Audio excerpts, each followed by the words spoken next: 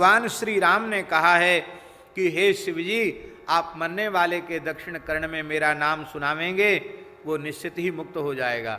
अब यहाँ एक विशेष बात है कि काश्याम मरणान मुक्ति ही और ऋते ज्ञानान्न मुक्ति काशी में मरने से मुक्ति होती है और बिना ज्ञान के मुक्ति नहीं होती है।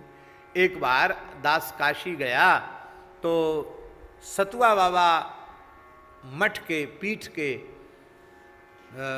परम पूज्य श्री बड़े महाराज जी।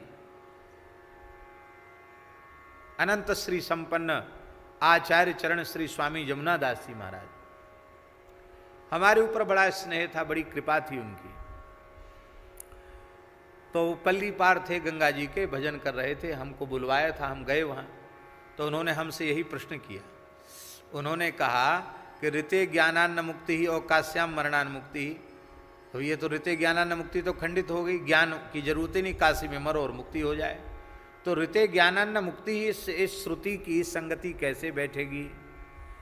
तो दास ने उनके चरणों में यही निवेदन किया कि ऋते ज्ञानान्न मुक्ति में भी कोई बाधा नहीं है। क्यों? जब कोई उत्तमोत्तम महापुरुष अधिकारी महापुरुष समर्थ महापुरुष उपदेश करता है तो उसके उपदेश में इतनी सामर्थ्य होती है कि उपदेश के अव्यवहित उत्तर क्षण में ज्ञान की उत्पत्ति हो जाती है। अरे शंकर जी जिसको राम नाम सुनावेंगे, राम तारक सुनावेंगे, उसको ज्ञान उत्पन्न नहीं होगा। शंकर जी की वाणी से नाम श्रवण करते ही उसके सारे अशुभों का क्षय हो जाएगा, कर्म राशि का क्षय हो जाएगा, ज्ञान उत्पन्न हो जाएगा, और ज्ञान उत्पन्न हो गया तो मुक्त हो जाएगा। पर यह सुविधा काशी में ही है। क्योंकि काशी में ही शंकर जी उपदेश करते हैं। इसलिए काश्याम मुरणान मुक्ति भी सही है और ऋत्य ज्ञानान मुक्ति भी सही है। ये सुनकर वे बहुत संतुष्ट हुए थे।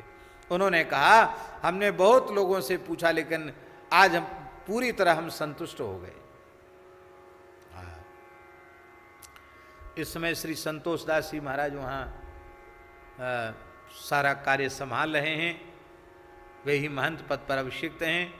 तो उनके गुरु जी की बात ये हम बता रहे हैं। हाँ। महाराज जी राम ताप ने उपनिषद में लिखा है श्री राम से मनुम काश्याम जजाप वृषभध्वज मनमंतर सहस्रस्तु जप होमार्चनाधि हज़ारों मनवंतरों तक काशी में रहकर भगवान शिव ने श्री राम तारक सरक्षर मंत्र आज का जप किया। जप भी किया, दशांश होम भी किया, अर्चन भी किया, तर्पण भी किया, सविधि श्री राम तारक मंत्र का अनुष्ठान किया। एक दो वर्ष तक नहीं, एक दो मनवंतर तक नहीं, हज़ारों मनवंतरों तक भगवान शिव ने वहाँ जप किया। इसलिए तो दास निवेदन करता है कि काशी के तो कण कण में राम नाम व्याप्त है, काशी के कण कण में श्री राम तारक मंत्र व्याप्त है।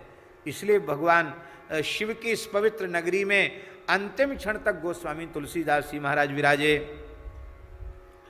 ततः प्रसन्नो भगवान श्री राम अप्राह शंकरम। भगवान श्री राम प्रकट हो गए, प्रसन्न हो गए। शंकर जी से बोले वृणीस्व यद भीष्टम तदास्यामी परमेश्वर।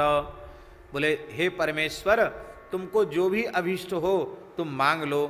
शंकर जी ने कहा मणिकर्णिकायाम मम क्षेत्रे गंगायाम व तटे पुनः म्रियते देही तज्जंतुर मुक्ति नातो वरांतरम मणिकर्णिका में किसी की मृत्यु हो जाए गंगा जी के तट पर मृत्यु हो जाए गंगा जी के जल में भी मृत्यु हो जाए तो वह मुक्ति मुक्ति को प्राप्त करे, यह आप हमें कृपा करके दे दीजिए।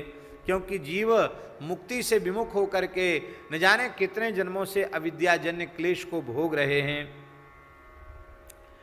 भगवान तो बहुत प्रसन्न थे। भगवान बोले, आपने तो कहा केवल मणिकर्णिका गंगा जी और गंगा जी का तट, पर हम ये थोड़ा और व्यापक दायरा कर देते हैं। कितना?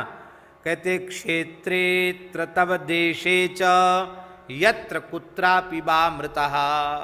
इस पूरे आपके काशी क्षेत्र में कहीं भी कोई मर जाएगा क्रम कीटा दयो प्यासु मुक्ता, संतुच न चान्य था कीड़े मकोड़े भी मुक्त हो जाएँगे।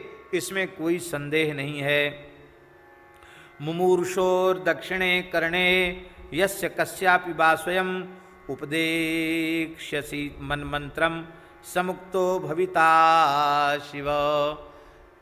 तुम जिसके कान में उपदेश कर दोगे, वह तो मुक्त हो ही जाएगा। शंकर जी बोले, महाराज, भगवान बोले, बस बात यह है, आपको ये सदावर्त बांटना है ना मुक्ति का?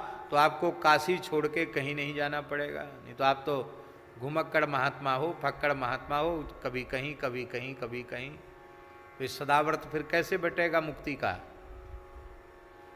भोले बाबा, बोले, हम काशी छोड़ के कहीं नहीं जाएँगे, पर एक शर्त है। क्या शर्त है?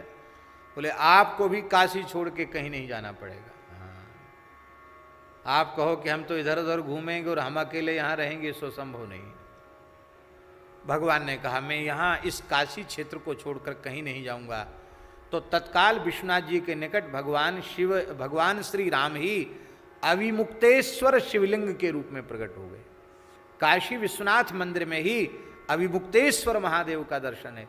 प्राय लोग काशी जाते हैं, विश्वनाथ जी का दर्शन करते हैं अविमुक्तेश्वर का दर्शन किए बिना चले जाते हैं। पर काशी के पुराने महापुरुषों से, विद्वानों से आप पूछो तो वो कहेंगे, विश्वनाथ जी के गुरु। विश्वनाथ जी तो सबके गुरु हैं। विश्वनाथ जी के गुरु कौन हैं? तो अभिमुक्तेश्वर महादेव को विश्वनाथ जी का गुरु बताते हैं। ये विश्वनाथ जी के गुरु हैं। गुरु का मत है, इष्ट हैं, पूज्य हैं, क्योंकि श्री राम ही वहाँ शिवलिंग रूप में है।